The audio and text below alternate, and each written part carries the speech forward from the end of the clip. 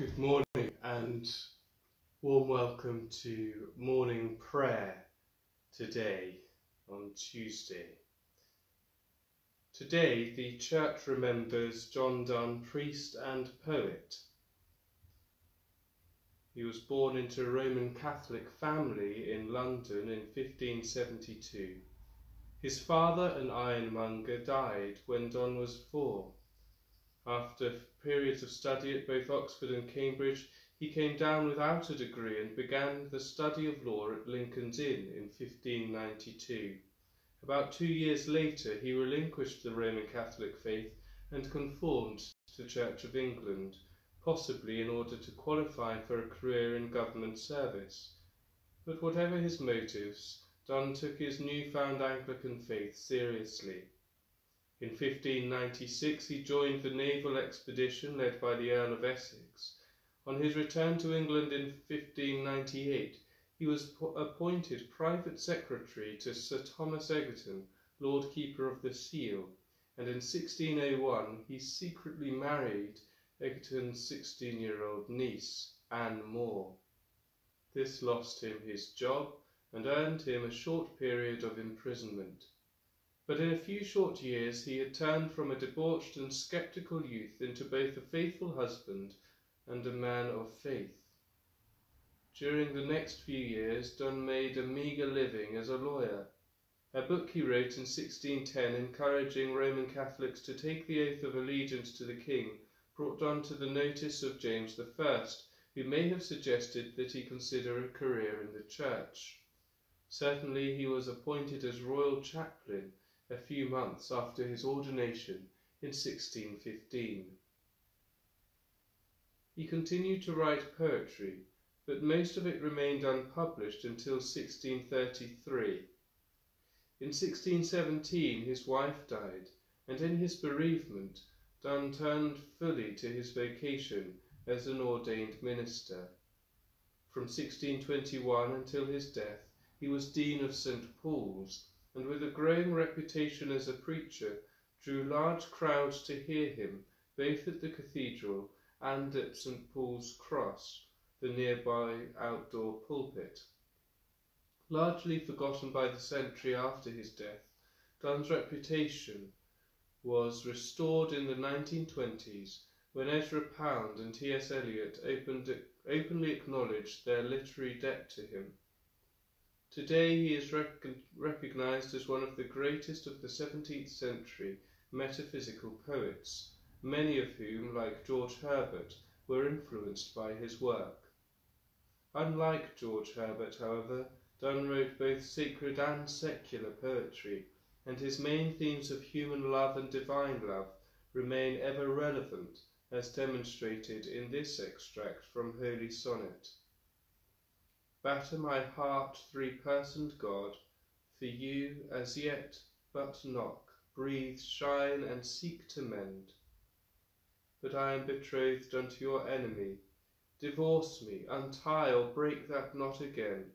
Take me to you, imprison me, for I, except you enthrall me, shall never be free, nor ever chaste, except you ravish me.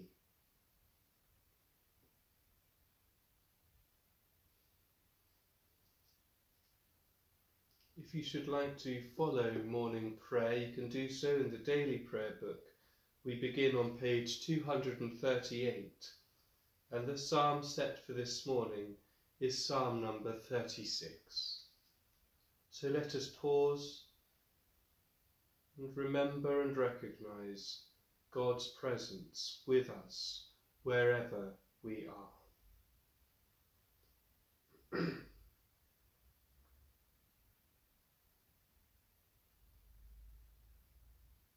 O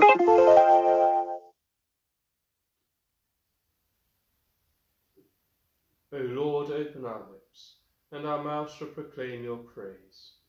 Hear our voice, O Lord, according to your faithful love. According to your judgment, give us life. Blessed are you, God of compassion and mercy. To you be praise and glory forever. In the darkness of our sin, your light breaks forth like the dawn and your healing springs up for deliverance. As we rejoice in the gift of your saving help, sustain us with your bountiful Spirit, and open our lips to sing your praise. Blessed be God, Father, Son, and Holy Spirit. Blessed be God forever. The night has passed, and the day lies open before us. Let us pray with one heart and mind.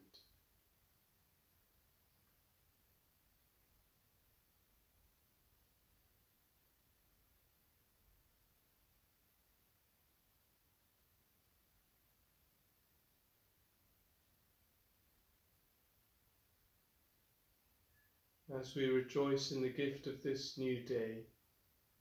So may the light of your presence, O God, set our hearts on fire with love for you, now and forever. Amen. Psalm number 36 Sin whispers to the wicked in the depths of their heart.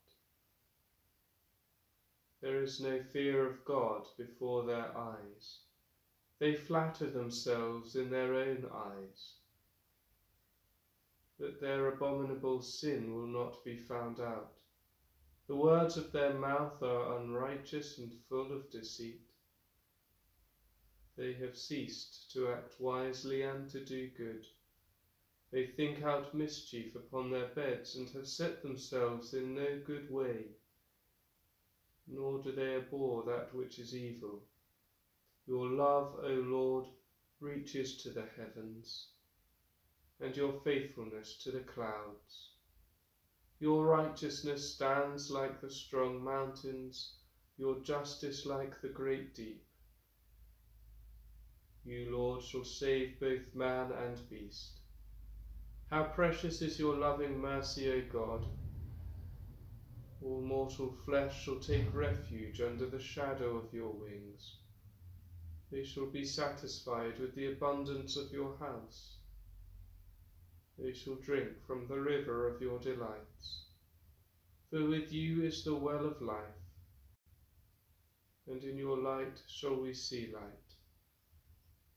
They continue your loving kindness to those who know you and your righteousness to those who are true of heart. Let not the foot of pride come against me, nor the hand of the ungodly thrust me away. They are fall, they are they fallen, all who work wickedness. They are cast down, and shall not be able to stand. Glory to the Father, and to the Son, and to the Holy Spirit, as it was in the beginning, is now, and shall be forever. Amen.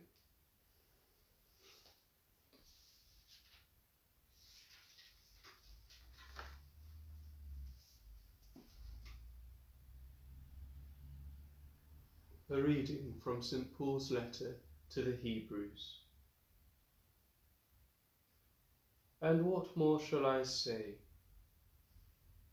The time would fail me to tell of Gideon, Barak, Samson, Jephthah, of David and Samuel and the prophets, who through faith conquered kingdoms, enforced justice, obtained promises, stopped the mouths of lions, quenched the power of fire, escaped the edge of the sword, were made strong out of weakness, became mighty in war, put foreign armies to flight. Women received back their dead by resurrection. Some were tortured, refusing to accept release so that they might rise again to a better life. Others suffered mocking and flogging, and even chains and imprisonment. They were stoned, they were sawn in two, they were killed with the sword. They went about in skins of sheep and goats, destitute, afflicted, mistreated, of whom the world was not worthy, wandering about in deserts and mountains, and in dens and caves of the earth.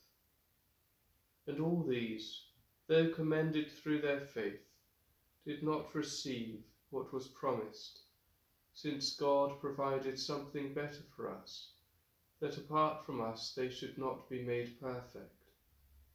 Therefore, since we are surrounded by so great a cloud of witnesses, let us also lay aside every weight and sin which clings so closely, and let us run with endurance the race that is set before us, looking to Jesus, the founder and perfecter of our faith, who for the joy that was set before him endured the cross, despising the shame, and is seated at the right hand of the throne of God.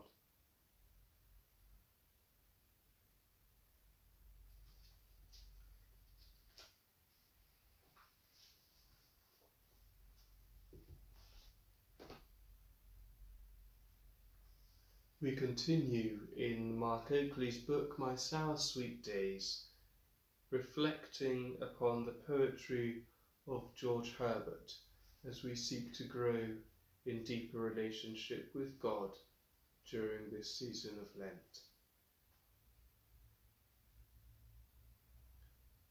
Today's poem is entitled The Glance. When first thy sweet and gracious eye vouchsafed even in the midst of youth and night to look upon me who before did lie, weltering in sin. I felt a certain sugared strange delight, passing all cordials made by any art, the dew embalm and overrun my heart, and take it in. Since that time many a bitter storm my soul hath felt even able to destroy, had the malicious and ill-meaning harm his swing and sway, but still thy sweet original joy, sprung from thine eye, did work within my soul, and surging griefs, when they grew bold, control, and got the day. If thy first glance so powerful be, a mirth but opened and sealed up again, what wonders shall we feel when we shall see thy full-eyed love, when thou shalt look us out of pain, and one aspect of thine spend in delight, more than a thousand suns disperse in light in heaven above.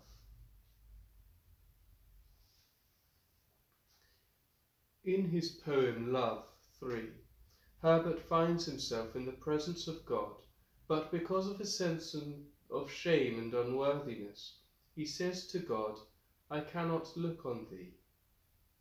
In this poem, The Glance, it is instead God's look that is the focus. The poem begins with the poet speaking to God and remembering when God's sweet and gracious eye first cast itself lovingly on him, looking in on him at night like a devoted parent, looking out and over him through his youth, even though that youth was spent weltering in sin. Weltering means wallowing through mud and calls to mind the prodigal son parable, where the son ends up in the pig's mud while the father is endlessly watching out for him to return home. When he sees God's watchful care over him and understands how cherished he is by his Maker, Herbert feels a sugared strange delight better than any medicinal drink might bring. This wonder and delight falls on him like dew, anoints and flows over him. His heart is taken in, given shelter and joy, such that life becomes refreshed. The imagery here may have overtones of the baptismal waters when we are taken into the water and into God's compassion and delight. Herbert continues to talk about his feelings. Since that time, he says, many a bitter storm has come his way, and he might even have been destroyed if evil had its way with full control, swing and sway. It didn't, though. The original joy that was placed in his heart by God's tender and loving look never left his soul. So when surging griefs threatened to overwhelm, remembered love controlled and restrained the chaos, Indeed, joy appears to be one of the infallible proofs of God's existence for Herbert. If, continues Herbert in reflective mood, God's loving glance is so redeeming and restoring to human beings as they make their way through life's difficulties and ride the waves of emotions that make or break them, then imagine what it will be like to be looked on with full-eyed love when we pass from this earth. St. Paul's reflection to the church in Corinth similarly reinforced the truth that here we see God only partially, through a glass darkly. But there will come a day when we see face to face and know God as much as we are already known by Him. The end of the last stanza is particularly beautiful. Herbert looks to the time when God will look us out of pain, when being seen and seeing that glance which reveals just how much we are wanted and treasured will dissolve all our hurts and griefs. All pain will disappear as love is fully reciprocated and understood. It will be more glorious and joyful than the light created by a thousand suns. Herbert's Christian journey was made with a very strong conflict felt within between the bitter storm and surging griefs he experienced and the sweet original joy that had centered and shaped his life and his relationship with God. One could argue that the honest tension between these is the source of his poetic creativity and lasting appeal.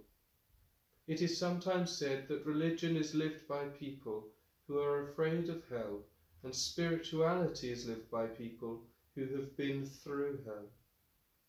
His ability to live through the darkness while searching for the light gives him that doubled awareness which furnishes the faithful, longing soul and makes it a good and indispensable friend to the rest of us.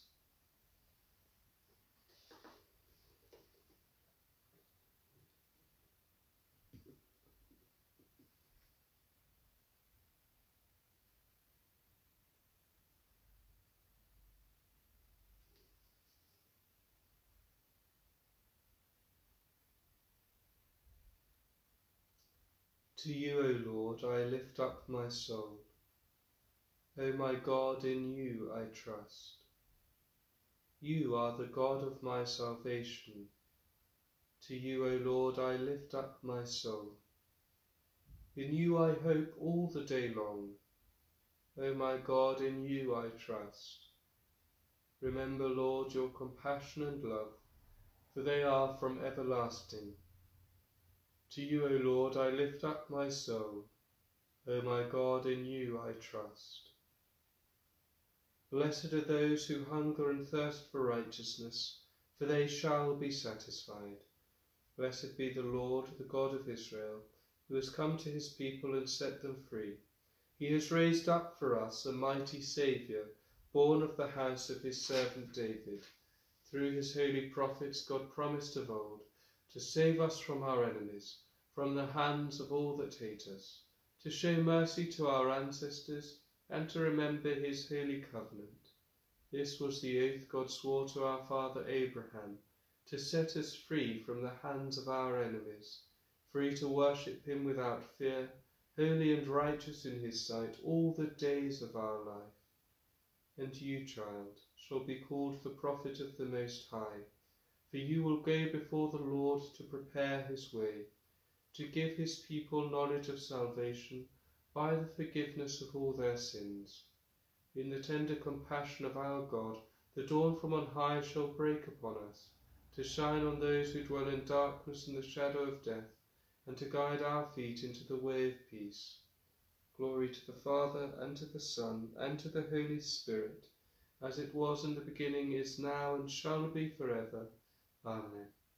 Blessed are those who hunger and thirst for righteousness, for they shall be satisfied. And so we continue in prayer.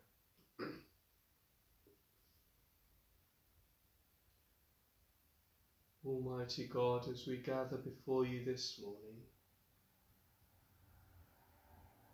we thank you for the gift of this new day, for the gift that we've been given to become more self aware, more understanding as to who we are and where we are in our faith journey. We thank you for the gift that you guide us, walking alongside us as we discover ourselves and you. Keep us to this discipline, that though we are in the midst of adversity, we may continue to grow in faith and love. Lord, in your mercy, hear our prayer. As we pray for the world, we pray for those very poor communities that are struggling with the isolation program, causing people to go hungry.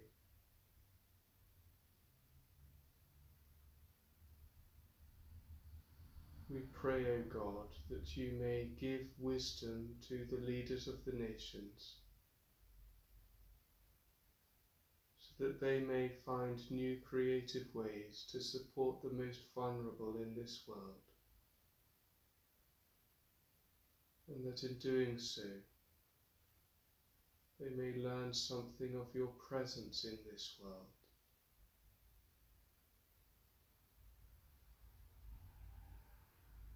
Lord, in your mercy, hear our prayer.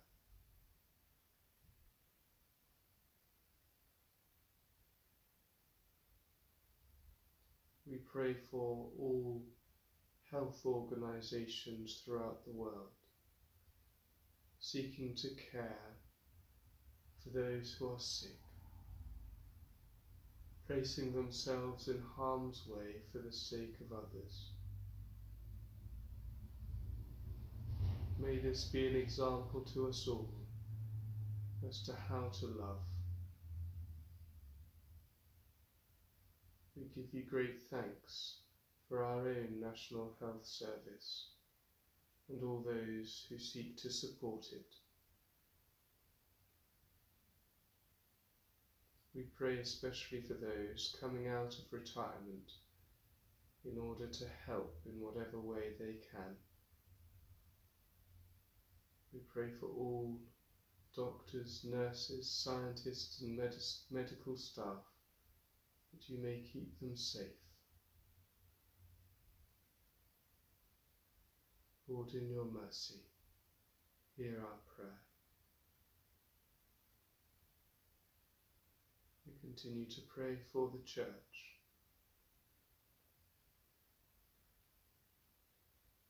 Pray for Justin, our Archbishop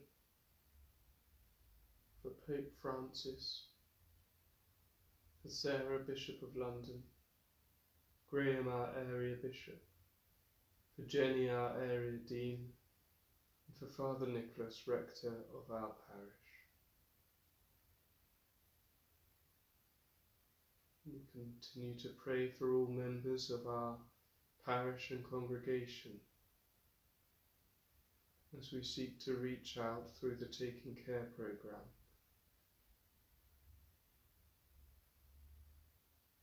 Help us to care for one another, as is your will.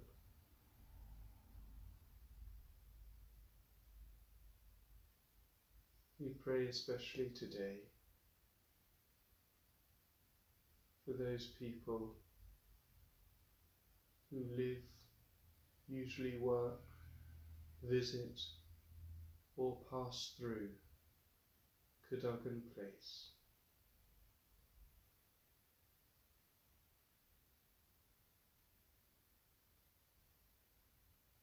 Lord, in your mercy, hear our prayer.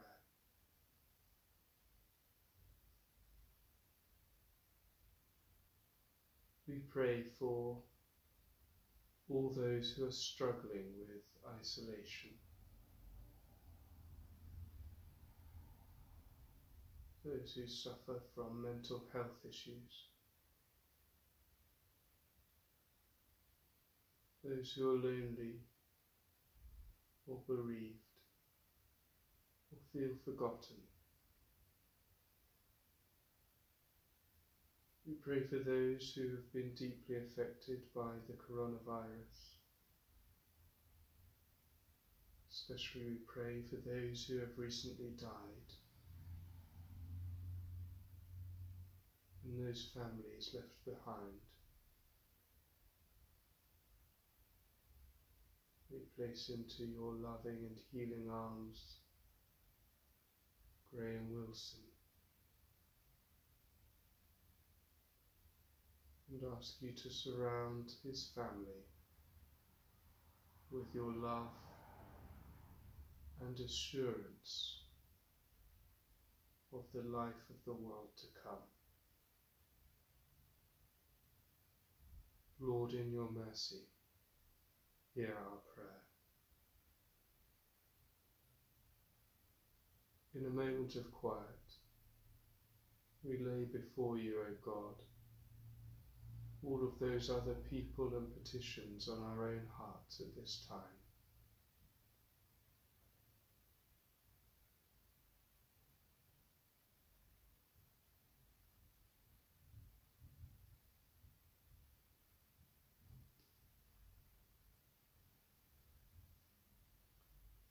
Almighty and everlasting God, you hate nothing that you have made and forgive the sins of all those who are penitent. Create and make in us new and contrite hearts, that we, worthily lamenting our sins and acknowledging our wretchedness, may receive from you, the God of all mercy, perfect remission and forgiveness through Jesus Christ our Lord. Amen. Trusting in the compassion of God, we pray with confidence as our Saviour has taught us. Our Father, who art in heaven, hallowed be thy name. Thy kingdom come, thy will be done, in earth as it is in heaven. Give us this day our daily bread, and forgive us our trespasses, as we forgive those who trespass against us. Lead us not into temptation, but deliver us from evil. For thine is the kingdom, the power, and the glory, for ever and ever. Amen. May God our Redeemer show us compassion and love. Amen. Let us bless the Lord. Thanks be to God.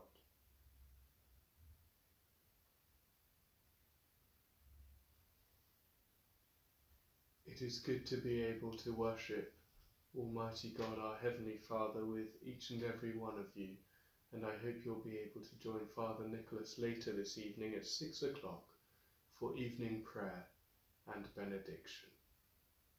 Have a blessed day.